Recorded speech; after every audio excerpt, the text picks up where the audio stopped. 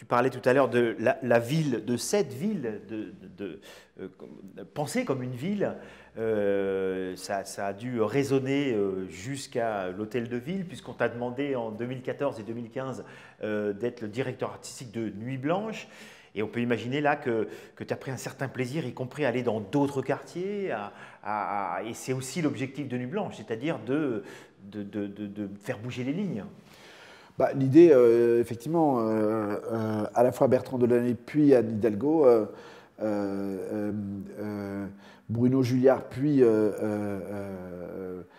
l'époque aussi Christophe Girard m'avait proposé d'inventer quelque chose qui ressemble au fond un peu à ce qu'elle s'encadre. C'est-à-dire, on découvre à la fois des artistes, mais on découvre aussi des gens, tout simplement, d'autres gens, d'autres quartiers, d'essayer de, de presque de créer de l'exotisme euh, pour tous dans une, redécouverte de, proximité euh, où on ne va pas, d'une certaine manière. Et donc l'idée, comme Nuit Blanche, souvent, euh, enfin, il y a du monde tout le temps à Paris dehors, et qu'on sait très bien que dès qu'il fait beau, et dès qu'il y a une offre, notamment au centre de Paris, et il y a de l'offre tout le temps, bah, il, y a, voilà, il, y a beaucoup de gens. L'idée, c'était de se dire, est-ce qu'on peut profiter de, de la force de la marque de, Nuit Blanche euh, et de Paris euh, tout simplement, pour que ces mêmes populations qui souvent sont au centre de Paris sur l'offre culturelle, elles puissent aussi se dire que euh, symboliquement de découvrir une offre culturelle et en même temps qu'elles découvrent une offre artistique, ils découvrent aussi un quartier, un mode de vie, une architecture. Et c'est ce qu'on a fait effectivement. Et puis en même temps découvrir peut-être certaines formes d'art.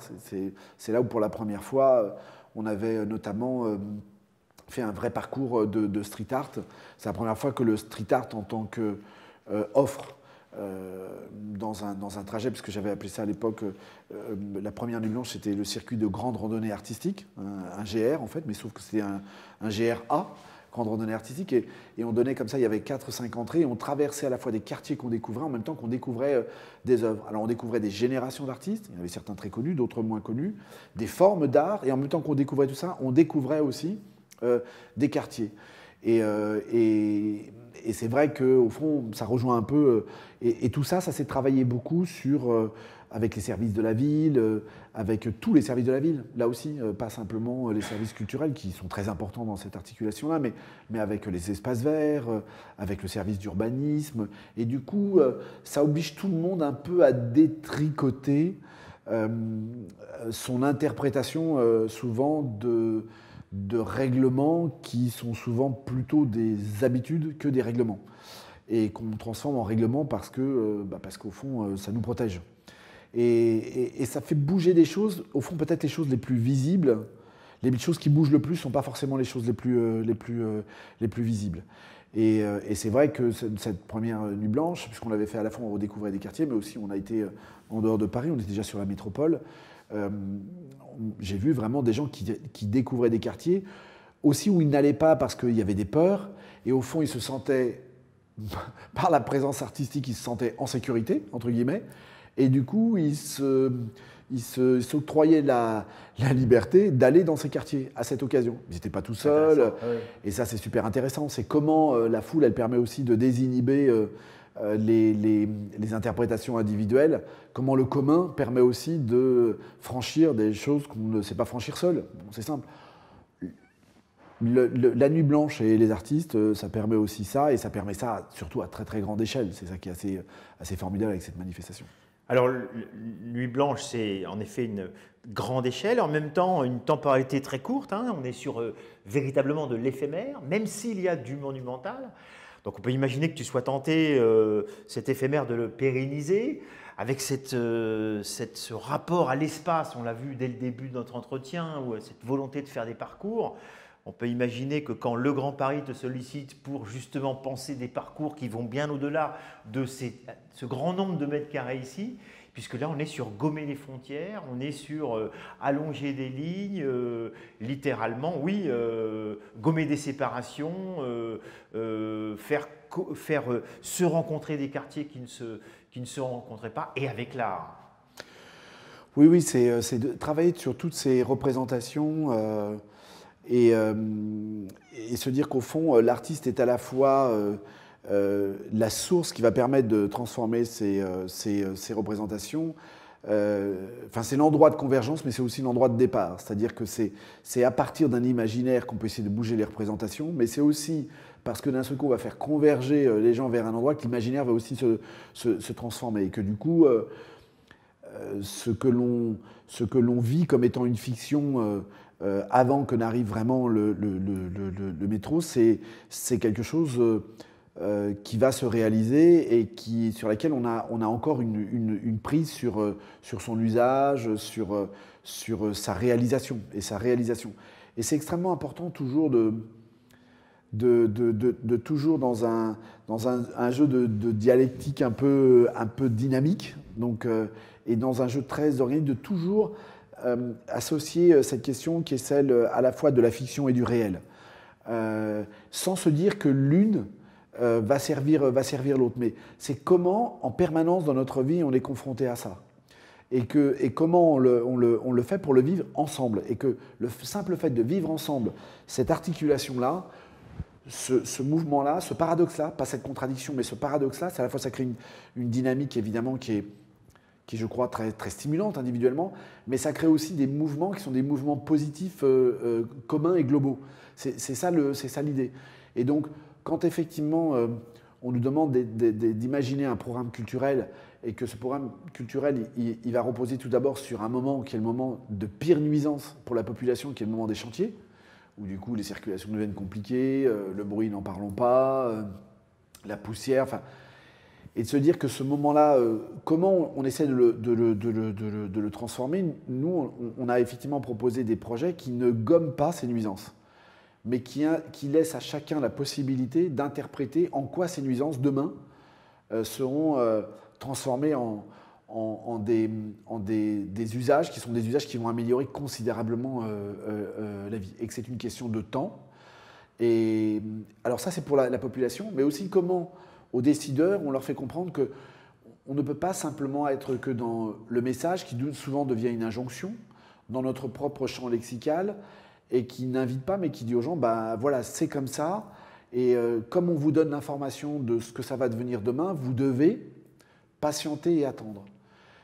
C'est laisser aussi la possibilité aux gens euh, d'interpréter, au fond, euh, par eux-mêmes, euh, la patience nécessaire pour pourquoi, pour savoir quoi et de ce qui se passe quoi. Donc, on a, a par exemple proposé un programme qui est de transformer un chantier, plutôt que d'être simplement réservé à quelques personnes, parce que de fait c'est dangereux, un chantier qui a des règles, et de se dire que ce chantier, il ne peut être accessible qu'à certaines personnes souvent euh, les personnes qui représentent l'ordre public, euh, de pouvoir euh, y accéder et de laisser des images prendre pour qu'après on vienne les publier, de dire bah, ce n'est pas des images qu'il faut qu'on fournisse aux gens, c'est des expériences. Et c'est le fait que ce territoire, on leur redonne au moins par moment pour qu'ils puissent eux-mêmes interpréter ce qui, se passe, quoi, pour qu'ils comprennent.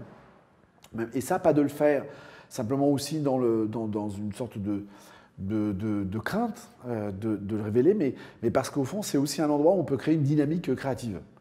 Et, donc, effectivement, on a créé ces KM, qui sont notamment ces grandes fêtes que l'on fait, mais pas simplement aux abords du chantier, mais dans le chantier, où pendant un moment, alors qu'on est en train de creuser, alors qu'on a des machines qui sont des machines euh, euh, dont on aperçoit souvent qu'une partie, qui peuvent être dangereuses dans l'usage normal, on va, on va transformer ça en, en fond presque un lieu d'exposition euh, qui à la fois donne à voir le réel et en même temps projette les gens dans ce que ça va devenir. Dans ce que ça va devenir parce qu'on sait que ça va avoir une fonction, mais dans ce que ça va devenir aussi et dans ce que ça produit déjà comme imaginaire, donc des artistes qui travaillent dessus. Et on va y aller tous ensemble. Et le tous ensemble, c'est à la fois les voisins et, les voisins qui invitent euh, d'autres voisins pour comprendre, pour pas simplement qu'on me dise, mais vous savez, si vous avez, euh, vous entendez du bruit, euh, c'est que ça fait tant de décibels, et que tout ça est écrit, et que vous, une fois qu'on vous a donné tous ces éléments-là, bah, ça doit suffire à votre, à votre contentement. Nous, ce qu'on dit, c'est que c'est bien, mais c'est pas suffisant, et il faut laisser les gens se rendre compte de quel bruit il s'agit, de quelle hauteur, de qu'ils aient, au fond, une échelle, une proportion des choses à l'aune de leur propre, à leur propre personne. Euh, faire que chacun est à un moment, euh, on le sait tous, la meilleure, euh, le meilleur gabarit d'évaluation du réel, c'est soi-même, c'est l'homme de Vitruve. Donc quand on arrive dans un chantier, bah, on étend les bras, on, mesure, et ça, ça nous permet de nous rendre compte c'est quoi la taille de la tour Eiffel, c'est quoi la taille d'une grue, c'est quoi le poids qui est là.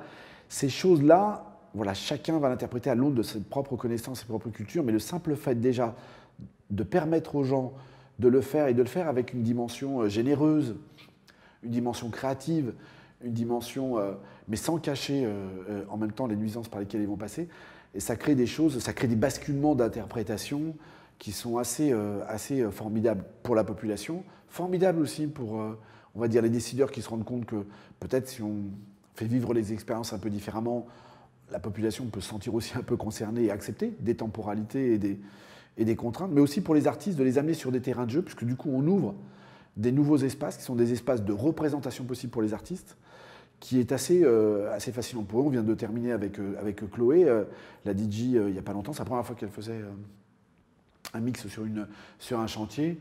Et en fait, on l'a filmé pendant une heure et quart. Pendant une heure et quart, elle a une banane, mais incroyable, quoi, parce qu'elle était, mais comme une enfant, quoi, totalement émerveillée. Je trouve que, je trouve ce vis-à-vis d'émerveillement, voilà, c'est assez, beau, c'est assez beau à observer. Alors je sais ton emploi du temps minuté et on arrive au terme. Alors je ne sais pas si je t'avais euh, prévenu, mais on a une question euh, qu'on qualifie de secrète, c'est la dernière, où tu peux regarder les caméras, t'adresser à tes populations ou à tes publics ou, aux artistes, à, qui tu veux, si tu avais à passer un message, peut-être même à la limite un message, on va dire, euh, à, un émergent directeur ou directrice artistique d'un futur lieu culturel, possiblement en friche, en passage entre deux usages. Euh, si tu avais aujourd'hui, toi, un conseil, un message à faire passer, euh, qu'est-ce que tu aurais envie de qu'est-ce que envie de dire? Peut-être même à la limite, qu'est-ce que tu aurais euh, qu'est-ce qui toi t'aurais aimé écouter euh, quand tu as commencé le 104 ou à la ferme du buisson ou à la péniche? On n'a pas fait ton, euh, tout ton, tout ton, toute ta trajectoire, hein, mais qu'est-ce que Qu'est-ce que tu as envie de dire aujourd'hui, peut-être pour faire gagner du temps aux gens ou, ou peut-être leur faire prendre le temps, je ne sais pas. Qu'est-ce que tu as envie de passer comme message? Je n'ai pas d'idée euh, là euh, précise, mais en ce moment, il y, y a une chose qui me, il y a une chose qui me, qui compte. Et, souvent, euh, je dis à l'équipe, quand on devient très expert dans un domaine, je dis attention, on est devenu tellement expert qu'en fait, on a oublié, on a un peu nos fondamentaux, ce pourquoi on le faisait comment on devait le faire, parce que le comment on devait le faire racontait au fond déjà ce qu'on visait. Et il y a une artiste, il n'y a pas longtemps, qui, m'a écrit un, long, un, long euh, euh, euh, WhatsApp et, qui, m'écrivait elle, elle, comprenait déjà beaucoup à l'époque ce que voulait dire un, un credo qu'on avait affiché comme une sorte de slogan au 104 quand on avait refondé le projet. Euh, et qu'elle l'avait vécu euh, pleinement et qu'elle et qu'elle trouvait que c'était extrêmement juste et que c'est ça que devrait viser euh, chacun des lieux, de ne pas être simplement une adresse, mais d'être un, lieu d'existence. Et le, slogan du 104 que j'ai cette dernière année que j'ai pas voulu utiliser parce qu'on l'a beaucoup vu et puis parce que ça collait pas à la ligne graphique. Et je disais à l'équipe hier ou avant-hier euh, il faut qu'on le reprenne, ce, credo, parce qu'au fond, euh, c'est toujours nous et c'est au fond notre ambition, elle est, elle est, elle est, elle est assez simple. Et c'était ce, vous savez, ce, cette expression qui est euh, pour signaler là où vous vous trouvez, vous êtes ici, qui est une, une, signalétique et une expression qu'on retrouve dans le monde entier. Mm. You are here. Or, euh, vous êtes ici, enfin bon, euh, dans, toutes les langues. Et c'est souvent pour dire où vous vous trouvez géographiquement. Et moi, j'avais inversé les choses en disant, mais, mais nous, en fait, notre ambition, c'est pas de dire simplement où on est, mais c'est de permettre, c'est d'avoir l'ambition, faire qu'à un moment, par, instant, ce, lieu participe à, comprendre qui on est, euh, en fait, à être, simplement. Alors évidemment, une sorte de, retour hein, presque aux origines, hein, avec Shakespeare, To be or not to be, mais et j'avais inversé donc le, vous êtes ici, euh, j'avais fait euh, ici, vous êtes. Et je pense que c'est ça qu'on doit. Enfin, nous, c'est toujours l'ambition qu'on a ici. Euh, c'est c'est que c'est d'ambitionner que les gens, quand ils sont ici, ils sont ce qu'ils sont et ce qu'ils auraient envie d'être. Si nous sommes José Manuel Gonçalves, un grand merci à toi. Merci à toi, vraiment Dominique. Merci de votre patience, vraiment.